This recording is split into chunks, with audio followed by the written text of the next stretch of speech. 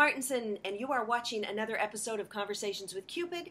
And I've got Brenda Crozier again with me. Hey, Brenda. How are you? Hi, thank you for having me again. I'm so excited. And today you're in front of your beautiful herbal cabinet. There, yep. This is my herbal and my medicinal cabinet, my, my magical cabinet. I use it for herbs for medicinal and magical purposes. And I keep it in my kitchen because there's always magic in the kitchen. I love it. I love it. Well, that's what we're going to talk about today, everybody. If you're interested in herbs, herbs from your garden, um, this is the show for you. So I always I always want to say this though. As much as herbs are an amazing medicinal use, always consult your doctor. If you are on any kind of prescription drugs, always consult your doctor first. Oh, okay. Good. Well, that's Yeah, a good good disclaimer there. Yeah. Yeah. So, how did you get into the herbs, and what? Where's your I- knowledge from? I my my college is from Penn Foster online. I got two degrees from Penn Foster, the advanced herbal studies plus the herbal degree. Okay. I have been interested in herbs since I have developed MS over about 15 years ago. And they are always saying how certain herbs really help for MS, really help for, you know, the symptoms. And that's when I started getting interested in it and, and the properties of what herbs can do for you. Because And ha- and have you noticed that it has helped with your MS? Yeah. Yeah. There are so many prescription drugs, and I'm so not telling people to come off their prescription drugs. I'm not a doctor. But with prescription drugs comes prescription side effects. Mhm. And so many times the herbs do not have any side effects. If you have a headache, if you have an upset stomach, you know, things like that. I mean, if you're on prescription drugs for like severe diseases, you know, absolutely consult your doctor before you switch off of your prescriptions to come on to this. But at the same time, herbs do so much, and the benefits are just unbelievable. Yeah, I use valerian, you know, to help me sleep at night. I'll have a valerian tea or take a capsule. You can also use St. John's wort. Okay. St. John's wort you can find right on the side of the road. It is a yellow flower, but always consult. Now, I have, wherever I go, I take this book, The Backyard Medicine. Okay. Get, they call these field guides. They call these herbal field guides. You don't have to use this book. There are many books that you can use to find out exactly what, if you see a flower, if you see a herb, something that you're questioning, and you see it in like the woods, you're taking a walk, whatever, check the field guide. They also now have apps on your cell phone that you can use. That's just click the fantastic. I- oh my god. And you take a picture of the herb and it'll figure it out? and it tells you it, it could be this, this, and you look and whatever matches it, that's what it is. So you know, and it will also tell you the properties of what that herb or that plant does. It's awesome. That, so St. John's wort, you were saying about valerian. St. John's wort is a calming herb. It is an herb to relax you if you feel irritated, really angry. St. John's wort is awesome. I actually wildcrafted this Okay. from the other town, from woods in the other town. Um, it helps you sleep. This Isn't is that good for depression too if people have depression? Yeah. Now, But what if is okay? Okay. If you're going to take that for depression, though, do not take any other antidepressant. Or if you are on an antidepressant, talk to your doctor because they can counteract. Now, what is the term? Because you use some terms people might not understand. Wildcraft. I love that. Wildcrafting is when you take the herbs from a wild, from nature, Okay. from nature. Okay. Not, it's not necessarily wildcrafting. Isn't like if you have a garden and you're taking it from there. Wildcrafting is if you're in the woods. If you see something on the side of the road and you happen to notice what that herb is, and you take, and with permission, you take those herbs and you wildcraft them for what you need. It's so funny because I'm a big juicer. I have a ju- you know I do my green juice every Oh, day, yeah. and I add um, uh, dandelion. Dandelion uh, greens are excellent. Now I was I live in Los Angeles in the San Fernando Valley, so I can't really do much wildcrafting. But I walk my dog in the neighborhood, and a lot of people here really don't take care of their yards, and there'll be weeds just growing. And and this one in front of this one house on the other side of the sidewalk, there's tons of dandelions and dandelion greens, and I thought I'd love to go pick those because they can be expensive buying them at the store. But Yeah, but then are. you get nervous just picking some stuff off the side of the sidewalk in the, in a neighborhood. You got to wash them pretty good, I imagine.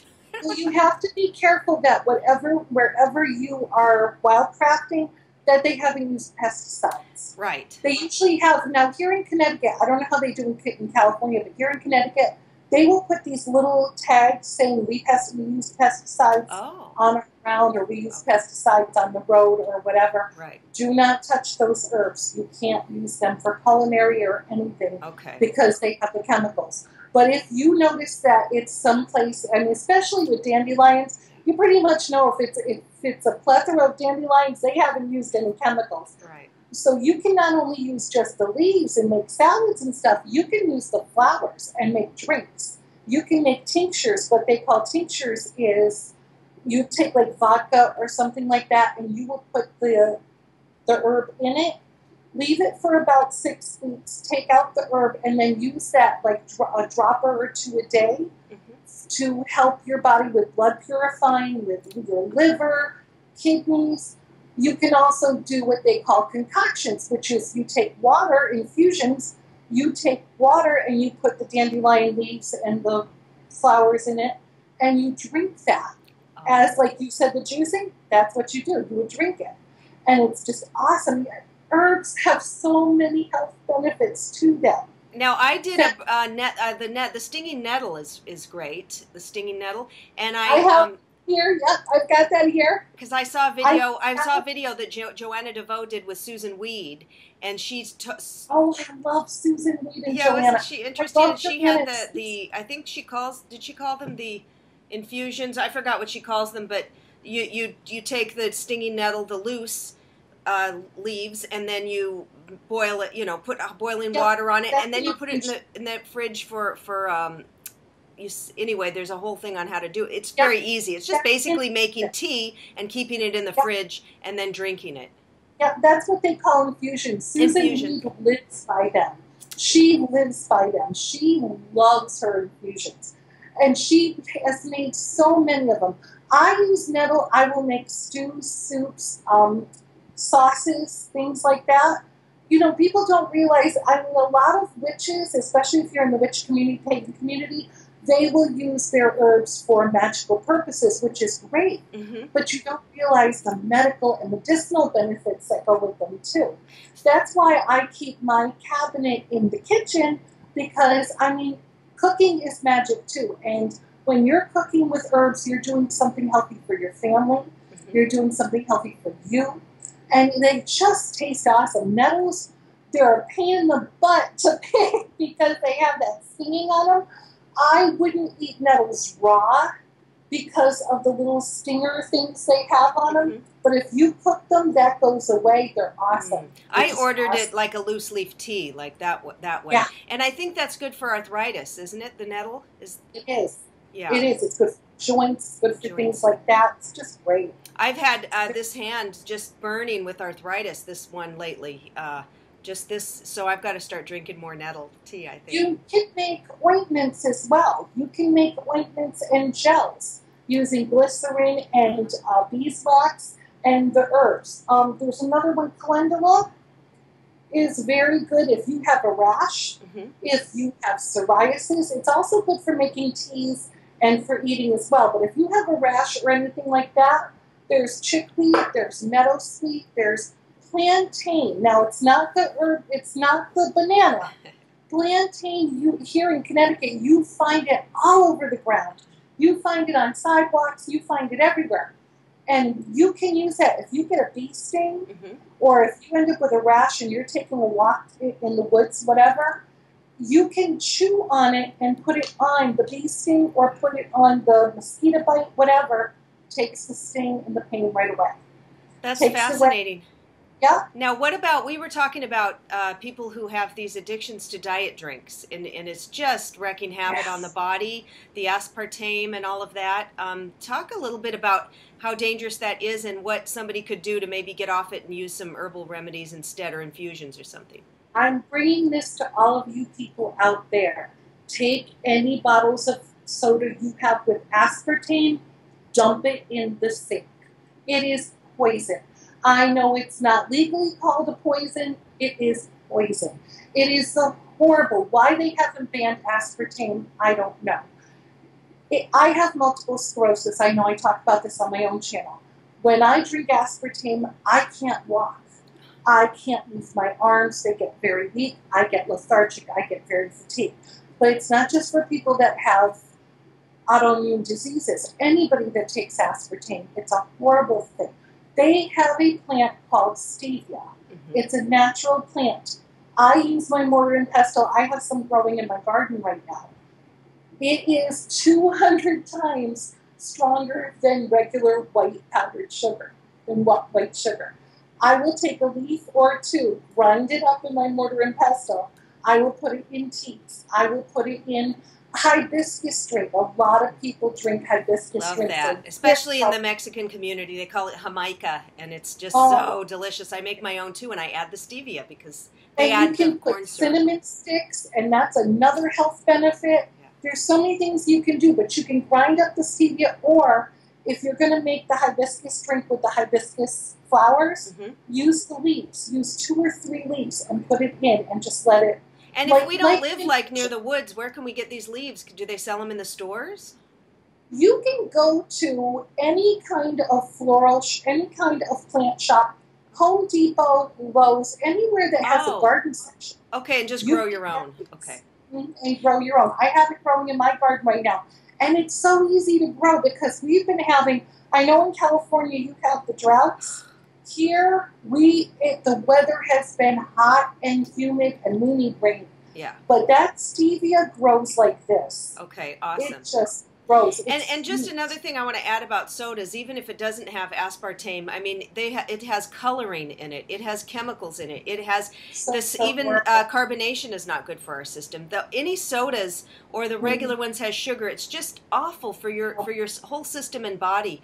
And if you can just get off it, you know, years ago I used I was never into sodas, but um, I used to take just grape juice with no sugar, you know, the pure grape juice, and then mix it with Perrier, and then you have like a grape soda that's natural. Or if you have to have something, you know, green tea. If you're worried about the caffeine, because I know some people drink soda in lieu of coffee, yeah, you can take green tea and make a cold tea that way and put any any there are so many things you can put in. You can put cinnamon in it.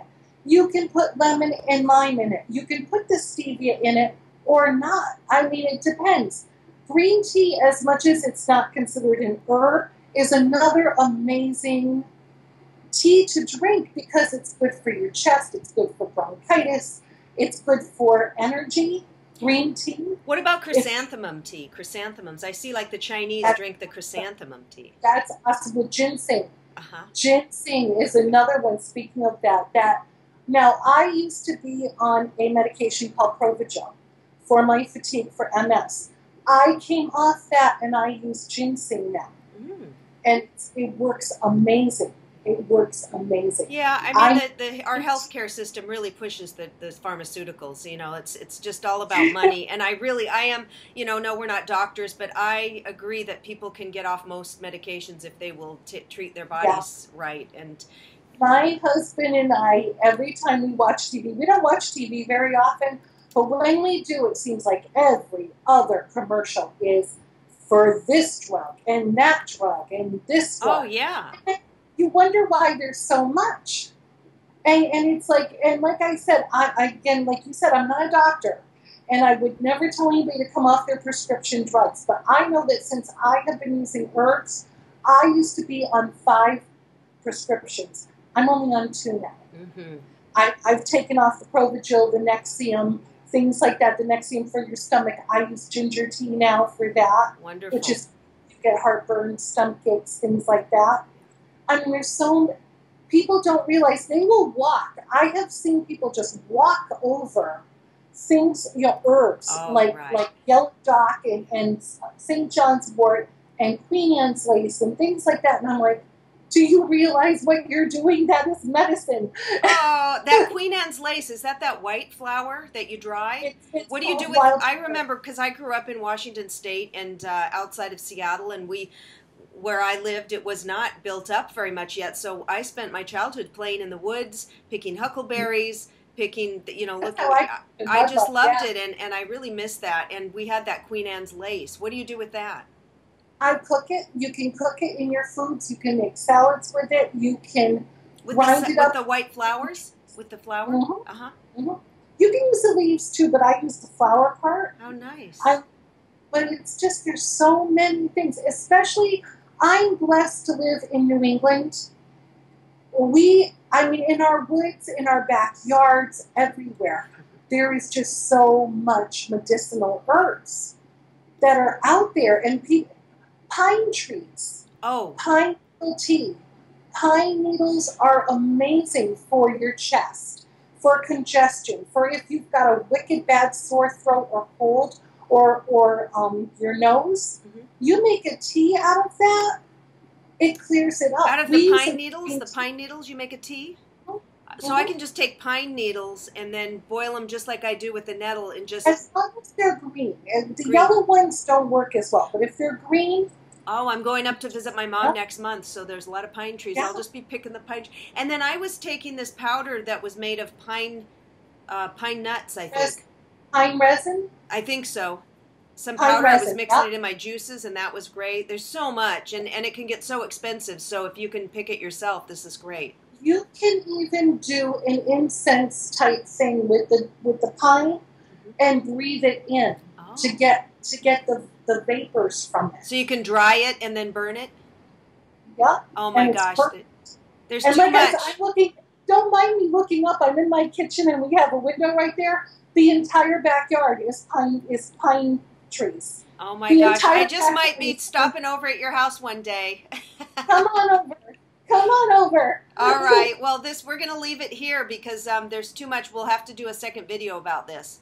Oh, there's so much. There's I could talk about this all day because the medicinal purposes in herbs is just amazing. Just amazing. So, you guys, if you have any uh, remedies of your own, leave it down in the comments. We would love to hear them. Thanks, Brenda. Thank you. Take care, everyone.